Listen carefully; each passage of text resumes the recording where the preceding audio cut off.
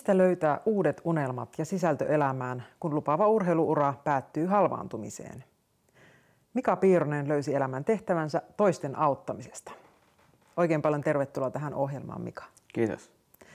Sinä olit tosiaan aikoinaan tuossa 2000-luvun alussa oikein menestyvä urheilija. Niin kerrotko vähän tästä taustaa, eli mitä lajia sinä silloin harrastit aktiivisesti? Joo, kokeiltiin, kokeiltiin eri, eri lajeja ja sit, äh, rakkaammaksi lajiksi osoittautui koripallo, ja, ja, ja, jota rupesin pelaamaan kymmenvuotiaana. Ja, ja, ja äh, ikävuoro kun karttu, rakkauslaji ja intohamo lajia kohtaan vaan kasvoi ja tuli, tuli joka päiväiseksi äh, sellaiseksi unelmaksi, mitä, mitä haluaa tehdä. Hmm. Ja, ja, ja äh, olin, olin valmis äh, mitä vaan tekemään sen eteen, että pystyisi pystyis ehkä, ehkä elättää itsensä sillä ja, ja, ja äh, kehittyy ja äh, menestyy, menestyy siihen. Ja, hmm. ja sinähän saitkin kokea itse vähän menestystä. No vähän joo. Äh, ja äh, 2000, 2001 Katajan kanssa, Jonsun Katajan kanssa nosti korisliikaa ja se toi aika, aika paljon energiaa ja luottoa, että ollaan oikeassa, oikeassa rytmissä ja me, me osoitaan jotain ja, ja, ja se loi, loi lisäpontta siihen, että ää, ehkä, ehkä jos jonain päivänä ää, ammattilaiseksi ja, ja, ja mikä parasta, että tekee asiaa, mitä rakastaa ja saa palkkaa siitä. Ja, ja, ää, ää, heti ensimmäisenä korisliikakautena ää, voitettiin SM, SM ja ää, totta kai ää, se lisäsi itse, itseluottamusta ja varmuutta siihen, että asioita tehdään oikein ja, ja, ja ollaan, ollaan hyvällä tasolla. Hmm. Ja, ja ää, e, seuraavalla kaudella voitettiin SM Hopeita ja Cup-mestaruus ja, ja, ja me, me ja varmaan monet, monet muutkin joukkokaverit oli sitä mieltä, että ää, ää, nousu, nousu suurelle jatkuu ja, ja lisää, lisää oikeanlaista reeniä ja lisää omistautumista ja lisää ammatti, ammattimaista tekemistä. Ja, ja ää, minulla oli selvät sävelet, mitä mie, mie haluan unelmoida ja tehdä mm. elämälleni. Kyllä. No mikä vuonna 2003 tapahtui jotain hyvin odottamatonta, eli kerrotko mitä oikein tapahtui? Joo. Ähm, no siinä vaiheessa kevät-talvella ja sitten kesällä äh, olin, olin äh, reenannut hyvin ja äh, olin äh, muistaakseni parhaassa kunnossa fyysisesti, mitä on ollut koskaan ja ehkä henkisestikin. Ja, ja, ja äh,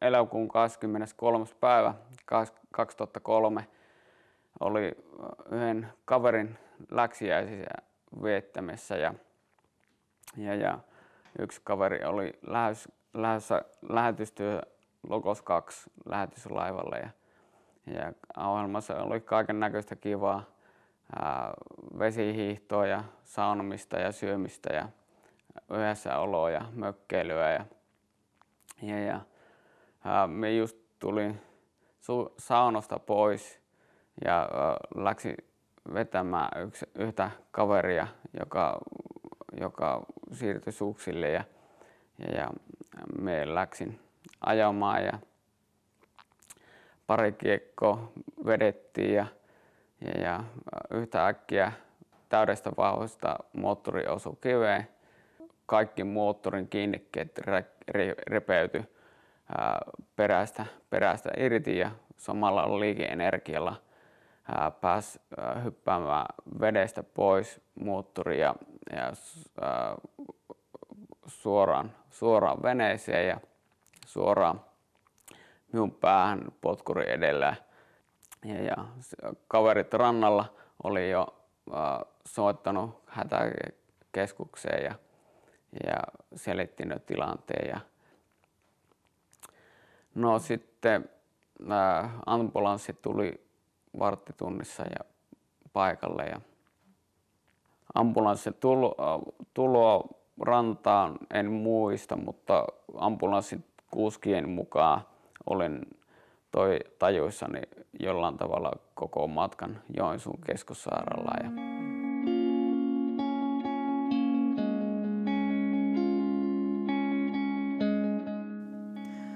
Mika, sinä olit tosiaan sairaalassa, sanoit, että muutaman päivän koomassa, niin millaisia ajatuksia sinulla sitten, kun heräsit koomasta, niin tuli mieleen? Oliko, oliko paljon kipuja? Joo, jotenkin tajusin, että on sairaalassa. Ehkä hoitajat tai valkoinen ympäristö tai sairaalan sänky, mutta ja sitten omaisia, omaisia vierellä ja lääkäreitä ja, ja, ja en tietenkään muistanut tai tiennyt, että mitä oli käynyt ja ää, aika nopeasti se selvisi, ää, että no siinä mielessä ää, onnellisessa tilanteessa, että ei paljon ollut kipuja. Mm. Voisi olla aika paljonkin ää, mm. tuollaisen, tuollaisen rysäyksen jälkeen. Ja omaiset ja kaverit ja lääkärihoitohenkilökunta sanoi, että oikein puolen halvaantunut ja en osaa puhua enää ja, ja siinä silloin en osannut ja, ja, ja vasan silmä lähes sokea käytännössä yhdellä silmällä ja en osannut käyttää esimerkiksi kännykkää tai kaukosäädintä. Tiesin mitä, mitä niillä tehdään, ja, mutta en mitä, mit, miten ne toimii. Mm.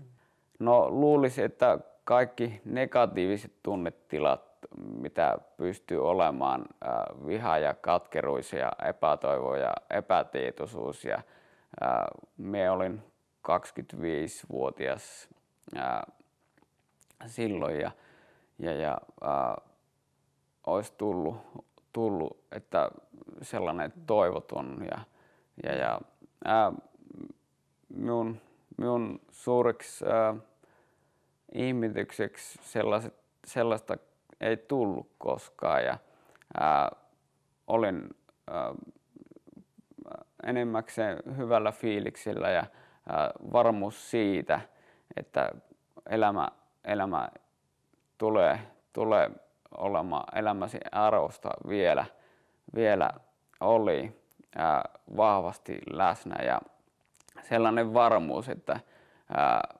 ää, me tuun, tuun kävelemään ja tuun ää, juoksemaan ja tuun puhumaan ää, oli itsestään selvää ää, omassa ajattelumaailmassa. Sellainen vaikea kuva, kuvailla sitä, mutta sellainen me koen, että pyhän, pyhängen läsnäolo ja kosketus oli niin voimakas, voimakasta siinä hetkessä, että se loi tämän ilmapiirin just onnettomuuden jälkeen. Ja siitä tosiaan alkoi sinulla tämä kuntoutusprosessi ja nyt näemme, että pystyt kävelemään ja puhumaan. Niin mm. Kuinka kauan kesti niin päästä tähän tilanteeseen? Ähm, eka kaksi viikkoa olin Kuopiossa ja sitten siirrettiin Joensuun keskussairaalaan ja, ja kaksi kuukautta about sen jälkeen fysioterapeuttien äh, avustamana pikkuhiljaa pystyin nousemaan ja no, kävelemään ja, ja, ja about samoihin aikoihin rupesin puheterapia avustuksena sana, sanalta tulemaan takaisin. Tosin sitä on 13 vuotta ja vieläkään ei ole niin, niin kuin ennen puhe, mutta, mutta, mutta mikä siinä? Pystyt kommunikoimaan. Niin, kyllä. kyllä. Mika, tämmöinen on hyvin, ajattelee, että olet tämmöinen todella hyvä, hyvässä kunnossa oleva urheilija ja lupaava urheiluura ja kaikki tämä, nämä unelmat meni tässä onnettomuudessa, niin mikä auttoi sinua jaksamaan? Mistä sait voimaa päästä, tai sait tämmöistä positiivisuutta, että pääsit tällä mm. tavalla eteenpäin ja kuntouduit? Mikä oli se voima, mikä antoi sen? Ilman Jumalan tulo en olisi ää, elossakaan ja, ja, ja sillä mielellä ja taistelutaholla ää, millä, millä olin. Ja, ja, ja ää, tavallaan ää, minun, minun henkinen, henkinen ja kilpailuhenkisyys ja, ja, ja kaikki tavallaan mahdollisi, mahdollisi sen, että ää, se kuntoutusprosessi oli aika ää, ää, no, tavallaan helppo kohdata.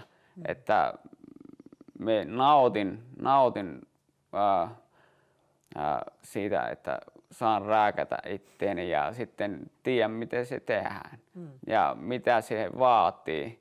Etenkin, etenkin fyysinen, fyysinen ää, kuntoutuminen, mitä se vaatii, miten paljon toistoja se vaatii ja miten paljon ää, ää, kovaa reeniä se vaatii. Mm. Ja me nautin siitä haasteesta. Jos Jumala ei olisi tullut, tullut äh, jeesimään, äh, olisi ollut aika liian, liian iso pala purtavaksi, äh, kun tietää kuitenkin äh, realiteetit. Mm.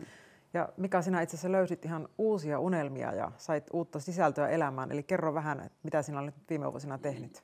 Ennen onnettomuutta keskityin vain omaan itteeni ja äh, äh, omaan tekemiseen. Ja, ja tavallaan muut ihmis, ihmiset ja u, ihmissuhteet jäi, jäi, tai sai jäi, jäädä jää siihen äh, tavallaan urheilun äh, äh, ulkopuolelle, että kaikki meni äh, sen eh-, ehdoilla. Ja, ja, ja äh, nyt vuosien varrella ja äh, on huomannut ja tajunnut sen, että äh, äh, muitakin on äh, ihmisiä lähellä ja, ja, ja äh, ne, ne tarvii apua kuka missäkin ja, ja, äh, ja, ja me on äh, esimerkiksi minun kämppä on äh, sellainen, mi, mihin se saa tulla, ei kuka vaan ja, ja, ja, ja missä elämäntilanteessa vaan. Ja, äh, minä nautin, kun pur, pur, porukkaa pyörii minun kämpässä ja äh, välillä rukoilla, välillä keskustella muuten elämästä ja, ja yritän, yritän sinne, sillä tavalla äh, luoda muille, muille äh, tsemppiä ja, tai äh, äh, mitä vaan ne kaipaa hmm. elämää ja rohkaisua. Hmm. Mikä kun ajattelet sinun elämää siitä aika ennen onnettomuutta ja kaikki nämä äh, muutokset ja uudet unelmat, niin mikä tunne on ihan päällimmäisenä mielessä sydämessä, kun ajattelet sitä, missä olet tänä päivänä? Kaikista huolimatta kiitollisuus. Että tavallaan se, että jollain tavalla saa olla Jumalan käytössä ja, ja äh, se, että huomaa sen äh, hedelmän muissa äh, ja, ja, ja tavallaan tarpeellisuuden minu, minuukin tarvitaan. Ja se, se on, on tosi, tosi tärkeä tunne, tunne vaikka, vaikka on virallisesti sairaseläkkeellä ja puolet kropasta ei toimi kunnolla. Ja, ja, mutta ää, ää, sanotaan näin, että me elän tänä päivänä ää, sellaista, sellaista et, ää, elämää, ää, ää, täydelläistä elämää, kun, kun, kun urheilijana ja, ja, ja ää, ää, terveenä, terveenä ihmisenä sain elää. Ää, se, se ei tänä päivä, tähän päivään verrattuna se ei ole mitään verrattuna siihen. Vaikka on puutteita kropassa tai elämässä. Ja, mm. ja, ja se on, se on yltäkylläistä elämää, kun elää Jumalan kanssa. Kiitos oikein paljon tästä koskettavasta haastattelusta. Kiitos.